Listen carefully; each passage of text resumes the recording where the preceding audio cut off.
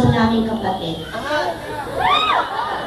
May kasama ako ngayon, bunso naming kapatid. Kasi alam niyo po, tinitrain ko siya. Kasi sabi ko, ka dito, bunso, para sakaling malam mo ma-discover ka, di ba? Ah, May medyo mahihain siya. Alam niyo, kayo na magpapalakas ng loob niya. Meron ba ditong babae na edad man lang 13, 12, ha? Ha? Kasi teenager pa itong kapatid ko. Oo, babae ha, babae. Sino gusto? Baka hindi naman siya kabahan.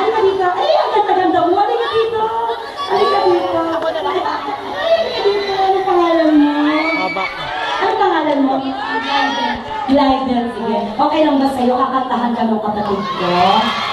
Okay. Ladies and gentlemen, pinapakilala ko po sa inyo, John Nico Gabriel!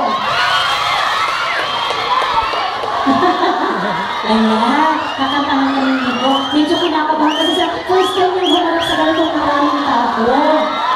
Sabi ko sa kanya, kantahan ko yung mga taga-barangay ng Alaya. Okay. Ano? Glider po. Ayan, ito si Nico. Ayan, kakantahan ka ni Nico, ha?